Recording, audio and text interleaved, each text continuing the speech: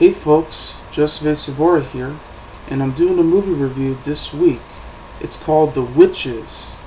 It's based on the book by Ron Dowd, who's the writer of Charlie and the Chocolate Factory, as well as Matilda and James and the Giant Peach. And it's produced by Jim Henson. And it stars Anjelica Huston from the Addams Family, Mai Zetterling, Jasen Fisher, Rowan Atkinson from Mr. Bean, Bill Paterson, and Charlie Potter. And it's directed by Nicholas Roeg. The movie begins when an orphan boy named Luke, played by Jasen Fisher, is now living with his grandmother, Helga, played by Mai Zetterling, and she was talking about the story about all these witches that's coming around the town. That is until one day Luke actually discovers a witch that came beneath his path. However, on that particular day, they were celebrating his birthday. That is until Helga had received a severe case of diabetes. So during the holiday, Luke and his grandmother Helga decided to go to a grand hotel to stay there for a while in order to recover her illness.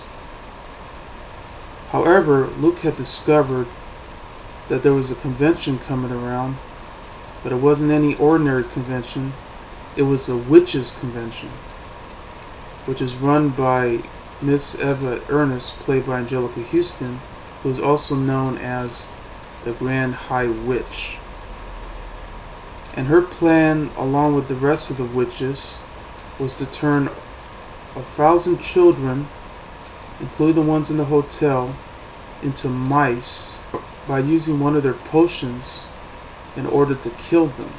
So once Luke and his other friend, Bruno Jenkins, who's played by Charlie Potter, has turned into mice, they decided to escape from those witches, go up to Helga's room, and develop a plan to stop these witches from harming all the rest of the children just by taking their potions and get their revenge.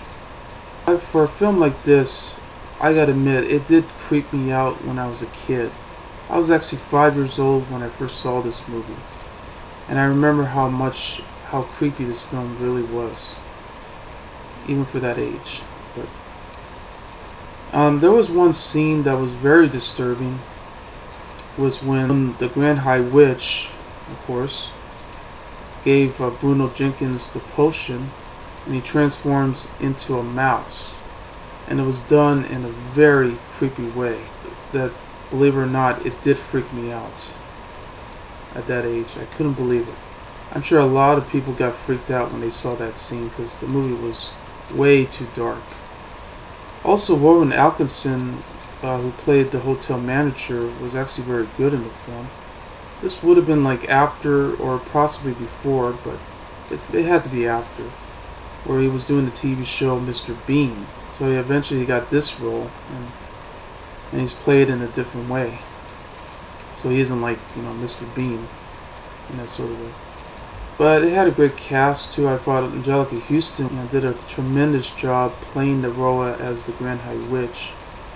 Know, this is the kind of role that I didn't think anybody would pull off but her. You know, because ironically, she would wind up in another film called The Addams Family. Later, the sequel, Addams Family Values. So that that's a good choice right there for her career.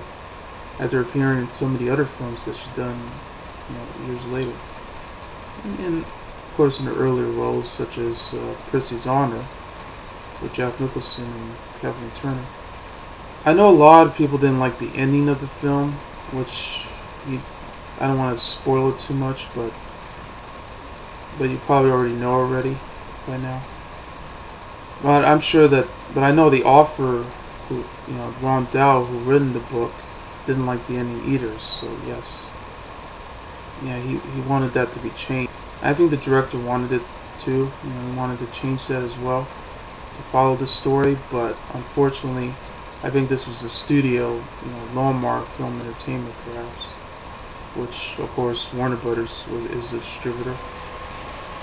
I guess they wanted to do some changes. You know. It's your typical Hollywood ending that they get these days, but that's okay. I, I, I can accept that ending that they had. I knew what was going to happen, and and even if I had read the book, which I know I probably would have, I probably would have known the difference between this and and the movie ending that we had. But other than that, though, I, I really enjoyed this movie a lot. It was um, it was a fun film. It was made uh, by the Jim Henson Productions. Yeah, and this was, of course, Jim Henson's last film, as opposed to the author Ron Dow. This was a treat. It worked pretty well. Um, the designs were, amazing. The latex, uh, including the uh, the Grand High Witch's look, man, just creepy. Something that you never thought you'd seen before. I mean, such a shame for a film like this that was made back in the early 90s, or this rate, uh, late 80s, because yes, this was made in 1989, but it came out in 1990 during late summer. Didn't do very well at the box office, um, but yeah, I gotta admit though, it was one of the darkest films I've ever seen.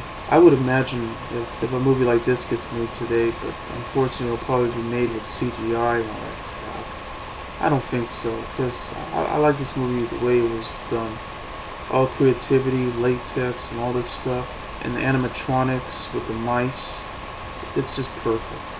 Something you'd rather be watching than any of the, today's movies these days. Okay, I, I know I, that's a little bit of my rant there, but I just don't want to see a good film like this being, you know, changed. But otherwise, why would we want it to?